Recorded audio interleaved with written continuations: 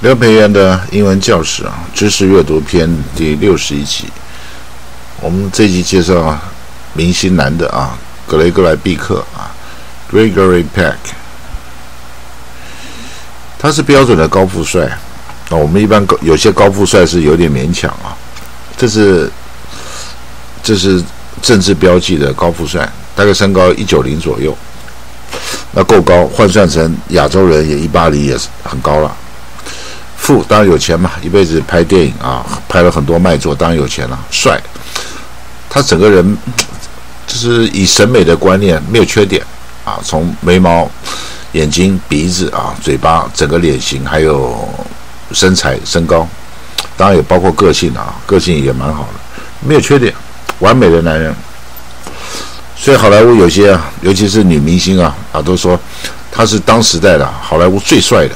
啊，这好莱坞明星已经够帅了，一般来讲就比一般人帅很多，不然怎么当明星？而这样说他是最帅的，啊，不但帅而且干净，所以老牌影后那个伊丽莎白泰勒曾经说，啊，格雷格莱贝克是最干净的，啊，不只是帅，而且感觉上不止人呐，个性啊什么都干净，就是简直没有一点邪恶，没有一点坏的想法啊，所以这个人就是从某些方面来讲，好像是完人啊，啊，这个这个。演戏也演英雄啊，人很正正面啊，又帅啊，这简直找不到缺点。啊，在他老老的时候啊，当然人都会老了，而老的时候也不难看了啊。所以这外国人这个脸孔啊，所以现在就很多人欣赏外国人，这没办法，你看他轮廓就深嘛啊。但是话又说回来了，像这种西方人，像这个脸啊，如果说一两千年前到中国的话，就是怪物啊。所以以前那个中国有很多那个胡人啊，啊胡人就是鼻子高嘛，叫做啊高木深渊嘛，啊高木啊就是呃渊木啊，就是反正就鼻高鼻子高什么胡人嘛，结果当成怪物，所以审美观念会随着时间啊时间变化，啊就是帅哥了啊超级帅哥啊帅的要命，女孩子心目中的偶像 Mr. Right。个性也好，人又帅，什什么都有。这个，这就是有福报啊，什么都有啊。演戏演大牌，也得过奥斯卡奖，什么都有。这一辈子什么都有了，而且又很又很又很干净，很单纯啊，也没什也没什么啊，这也没什么什么离婚啊，没没什么东西啊，这个都是正面，这个就是正能量，都是正能量啊，红的要命。他是一九一六年啊，民国五年啊，当然老牌了，当然早就早就过世了。美国人啊，很多好莱坞明星不是美国人啊。他以前出生在英国啊，就五眼联盟啊。所谓五眼联盟就是讲这个英文母语的英国啊，美国、英国啊、加拿大啊、纽西兰、澳洲啊，有一段时间连南非拉进来啊，因为南非有一段时间是白人统治啊。二零零三年啊，洛杉矶啊的过世啊，就是呼吸衰竭了啊，心心肺啊，反正人死了到最后都是心停的嘛，都是心肺方面的。啊，这个这个气管呐，这个肺炎呐，这些啊，这个很容易感染。他也不是真的这样死，就是老人家就是抵抗力弱了，很容易感染。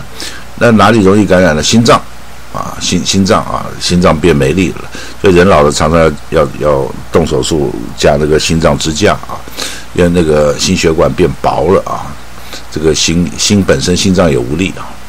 他出生的时候叫 Edward Gregory Pack 啊，他的外号叫做。小名呢，外号叫佩克神父啊，他就像神父一样啊，这个很善良，太善良了，很正派。啊，会叫 Greg 啊，身高一八九啊，接近一九零啊，在外国也算高了。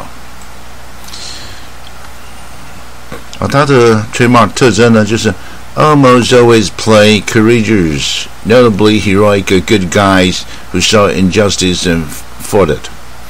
啊，他的一个特征就是啊，在荧幕上的特征呐。这几乎永远在演那个啊，很有勇气的，no nobly 啊，就是很高尚的啊，像贵族一般的英雄英雄般的人物，啊，都演正面的，演正面人物啊，他很少有演那个半好半坏的角色是有演过啊，但是演过坏人好像没有啊，就几乎都是演正面角色。啊，但是作为一个演员来讲，这是不好啊。因为演员最好是什么都能演。可可在那个时代呢，是要明星嘛啊，明星演坏人破坏形象啊，所以很多明星不演坏人啊，这是这没办法，这是一般的影迷啊，说哇，这个格莱格毕克演坏人，我不能接受啊啊，所以只能演好人啊。但是纯粹以演演戏的技巧来讲哈，或者以戏剧来讲啊，演演技来讲，这样子不好啊。最好一个又可以演好人演坏人啦啊，这个嬉笑怒骂也可以演神经病啊，像那个 Jack Nicholson 啊，他就常常拿奖啊，一下演好人好的不得了，善良不得了，一下演坏人坏的要死，那才是演技好。但是格莱格·毕克他也拿过一次奥斯卡金像奖的，啊，提名也若干次。然后他每次看到 injustice 不公平、不正义的时候，就 folded 啊，这是过去式，本来是 fight 啊，就去对抗啊，就是一幕英雄啊，也演过很多西部片了啊，就是反正都是英雄人物。然后 distinctive 就是很有特色的、与众不同的啊，low pitch 就是低音啊，跟我一样啊，低音啊。低沉的嗓子啊，但蛮有特色的。I found something reflected his liberal political views 啊，他演一些现代片的啊，也常常 reflect，就是反映出来他的一个自由啊，政治自由色彩，就是就是不是保守派了，就是要改革了啊，就觉得政府不够好，要改革，教育改革啊，财政改革，经济改革，外交改革，就是改革派了啊，就自由派的思想啊，就比较不受束缚的。啊，imposing stature，stature 雕像，imposing 就是，嗯，很壮观啊，很壮观雕像，因为他整个人个子高，然后又帅，好像雕像一样，好像那个希腊雕像一样啊。那雕像都会把人雕的很俊美嘛，就像雕像般啊。所以很多好莱坞男星女星啊，都雕像一样啊，就是好像一般人这不会长那么好看，就当然要好看才当电影明星嘛。就是奇怪，怎么有那么帅、那么漂亮的人？所以我也亲眼看过一些。台湾了啊，台湾的这个明星啊，呀，真的是，就是就是帅或者就是漂亮。那我看过林青霞，他妈就是不不止漂亮啊，而且就是有一种特质。明星除了帅漂亮，还有一种特质，与众不同特质。有些我们在捷运啊、马路上看到一些美女啊，就是美啊，但是你不会觉得怎太怎么样，就是就是美啊。但是明星就不一样，除了美以外，他一笑啊，一怎么样，他就是有一个范，就一个明星范。他一颦一笑，他就是就是特别吸睛啊，抓住眼球。那这没办法，天生就是有有这个啊吃这行饭的。就是明星笑起来跟一般美女笑起来不一样，美女笑起来只是说还不错啊，很好看。明星笑起来，哇，怎么这么灿烂啊？还是怎怎么这这风采怎么这么好啊？有一种特色。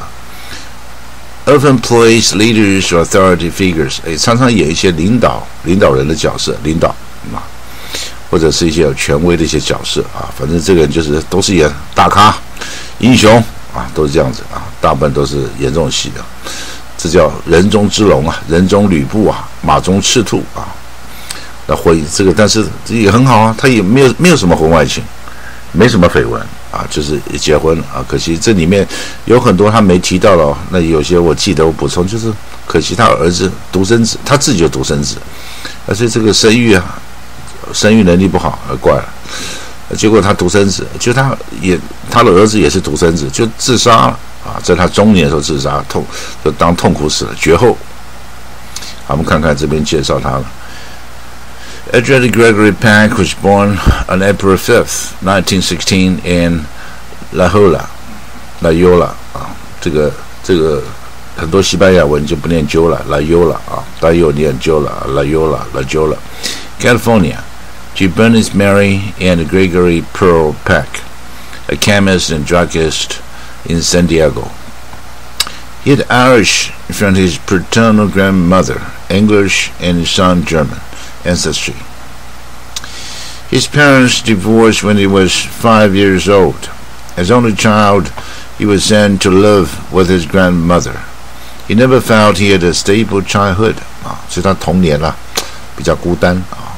他出生的时候多一个 Edward 啊，多一个 Edward 啊， 一九一六年出生，加州。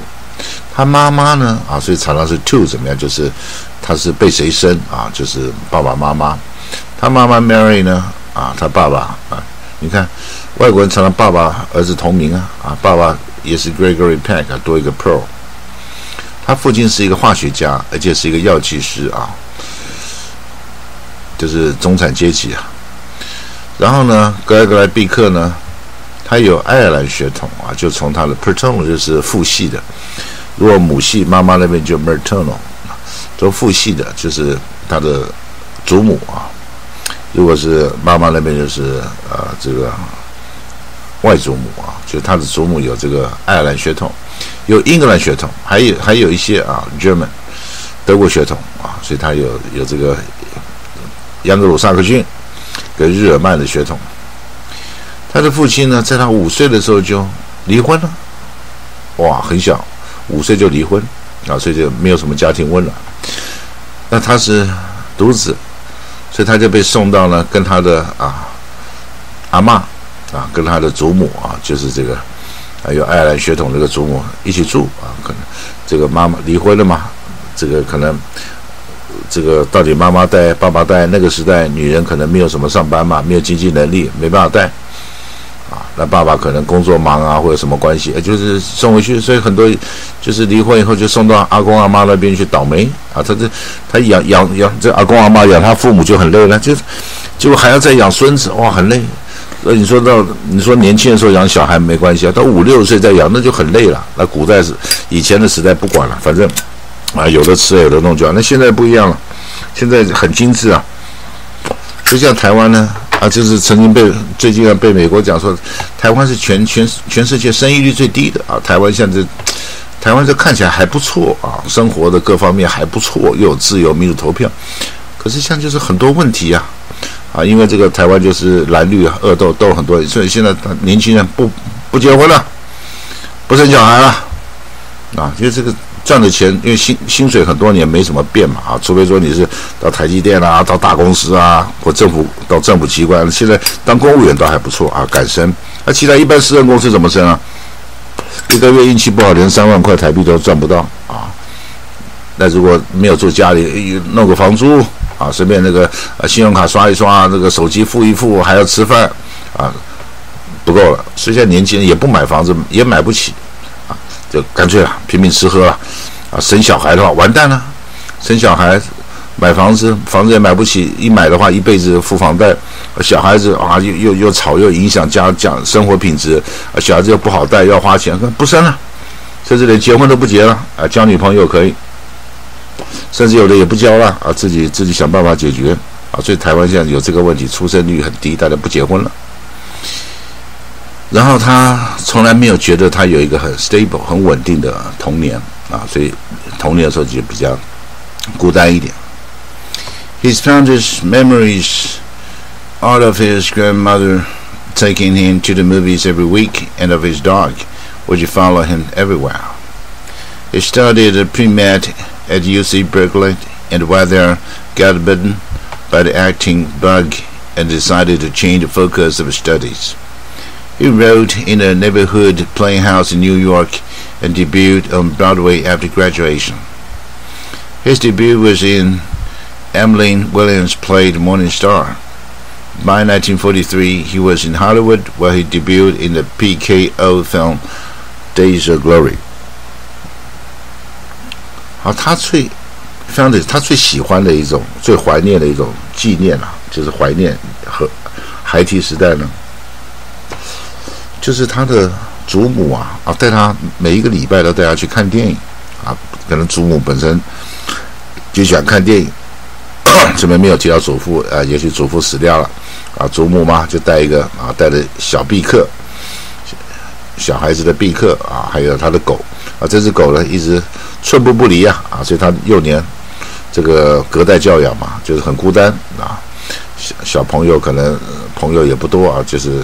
带只狗跑，一只狗陪他，很孤单。然后祖母一个礼拜可能带他去看次电影，他就哇看电影好啊，高兴啊，有有爆米花可以吃啊，他喜欢看电影。然后他在那个 pre med 就是这个 medication 啊，就是医学了，预科啊，医学的这个等于是啊，这个这个学前呢啊，这个准备要念医医科了啊。退休之前啊，预我们叫预科预防的预，啊，这好学校，U C Berkeley 好学校啊，加州伯克利学校好学校。然后在那边的时候呢，bitten 啊，他被咬了，被 acting 很活跃的一个虫啊，就是啊，被被小虫咬掉了。哎，奇怪，被虫咬了以后，他决定啊，change focus of studies，他决定改变他那个学习的一个焦点。那什么意思啊？那这边没有写清楚啊，我也不知道啊，是就不学医了，还是改变什么焦点？不知道啊，就是很奇怪。小时候就是大概比较敏感啊，被虫咬了以后就改变学习的焦点啊，想学别的啊，但学什么这边没讲清楚。Enrolled 啊，这被征召了，enrolled 就征召啊，在附近的一个啊 neighborhood playhouse 啊，这个这个是专有名词大写啊，它不是附近的啊，就是一个名称啊，这是一个反正演戏的地方啊。啊，他的他被征召就可可能帅吧？啊，可能被发掘星探，所以很多明星星探了。林志玲就是在那个诚品书店买书的时候被星探发现了。啊，林志玲也也不是说学学这个演艺的，也不是什么呃什么艺术大学啊什么东西啊，不是啊，就是就是大学毕业啊。他哪一个大学毕业忘记了？东吴东吴辅仁哪一个忘记了啊？哎，结果那星探一看，哇，诚品书店，哇，这个女的好高啊，又瘦啊。哇，这个，然后一看，哇，回眸一笑百百媚生啊，又漂亮，哇，又瘦又漂亮，哦，气质也很好。啊，这当然娃娃音啊，但是他不是装的，他天生就娃娃音，哦，就赶快签约啊，就开始当模特啊，模特慢慢，林志玲一七四啊，啊，穿个高跟鞋很高，模特啊，一开始平面模特拍照啊，然后慢慢心别的心态啊，电影电影的心态，哎呦，电视啊，电影啊，就开始。啊就开始也慢慢参加一些电影的演出啊，他主要是模特啊，所以可能格莱格比克个子又高，长得又帅，可能被星探发现啊，就叫他去纽约的这边去去演戏。debut 就是啊，这个 T 不发音，debut 就是处女秀啊。好，在这个 Broadway 啊，在他大学毕业以后啊，他就去演戏。啊，他的处女作呢啊，就是呃 Emily Williams。的这个指导啊，就是导演的《Morning Star》啊，陈之星啊，早上的星星啊，这是他处女秀，在这边演了啊，但这没有写，没有写是演主角或者配角啊，一般刚开始都是演配角或者跑龙套啊，这边没有讲啊，但是有时候例外了，你太帅的话，可能一开始当主角也不一定。到一九四三年的时候呢，啊。他就到好莱坞好莱坞去了啊，然后在好莱坞的处女秀啊，就在 P.K. 啊这家电影公司里面的啊《Days of Glory》啊，这个这个这个这部电影里面啊，就开始演电影了。一九四四年开始演电影，二十几岁啊，二十几岁就开始到好莱坞演。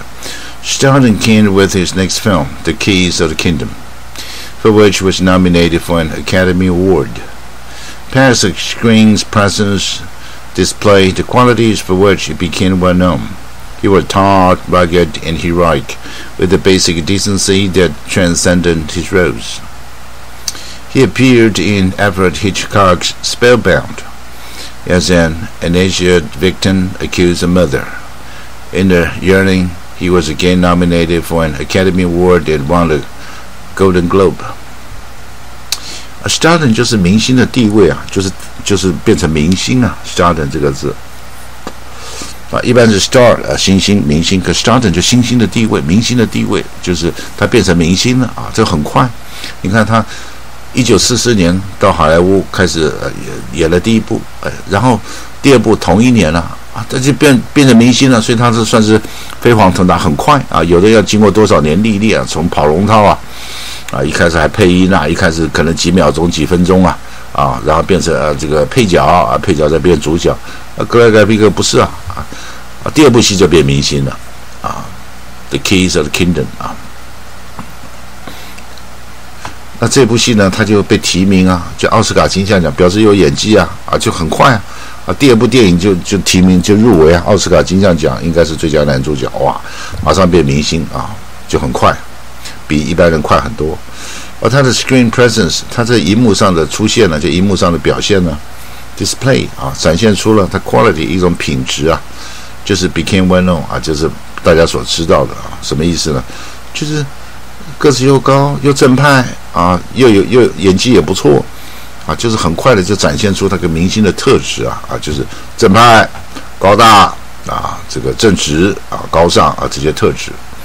啊，他蛮高的，he was tall 啊，高一八九，因为那个现在的美国人比当时高啊，高一些啊，就是营养的关系啊，所以在那个时代一八九啊，我们说一九零好了，就很高了，所以他这个电影里面就是比旁人都高啊，就比旁其他人都高。所以当时的一九零啊，呃，感觉上现在好像一九五、一九六啊那种感觉啊。那那个中国也是啊，这个儿子都比爸爸高啊。啊，其实人种其实都差不多那么高，但是为什么有时候，哎，这个呃，这个下一代就比上一代高？就是上一代战乱，战乱的时候人会变矮。啊，反正有战乱的时候就营养不良啊，啊，很多人就死啊，平均寿命三四十岁啊。这战乱的时候人就长不高，啊，那不是说他儿子就一定要比他高，而是说他爸爸营养不良啊，啊，又有各种压力啊，人就是营养不良，有压力的时候比较容易长不高，生长受限。那小孩可能已经国家太平啊，营养又好，就就高了。啊，所以我们有时候很多说奇怪，台湾有时候啊，亲戚朋友小，他们全家移民，这小孩子回来哦变高。啊，不是说他天生就高啊，这这台湾那时候物质环境也不好，但营养也不太够啊。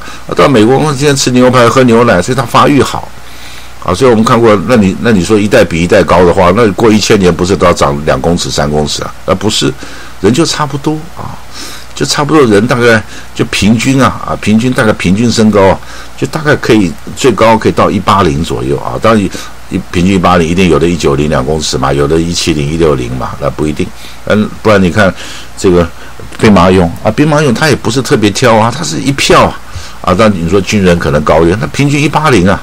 那秦朝，那如果说一代比一代高的话，秦朝离现两千多年，那那他应该嘛平均男的身高一四零一三零啊，那一代比一代不是，所以人的身高都差不多。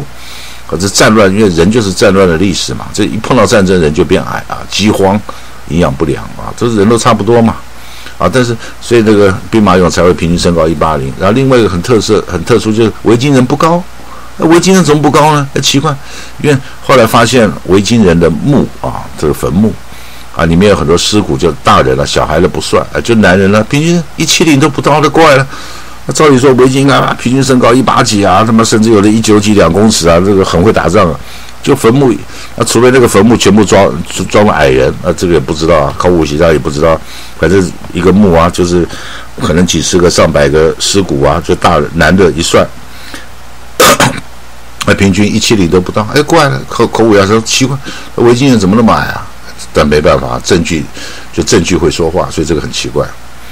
啊，他是高的，而且 rugged 就是外形有点 rugged，就崎岖不平啊，就是就是有一点啊，历尽沧桑，因为因为他皮肤没有很细了啊，rugged，但是他又帅啊，但用 rugged 这个字倒是搞不懂，他应该，就是看起来外表就是有就我们讲有棱有角啊，讲有棱有角就讲得通，我们不要讲说起好像外外形很粗犷，我们就说，但是他有时候看起来也粗犷，就是有棱有角的啊，而且是一直像英雄一样的。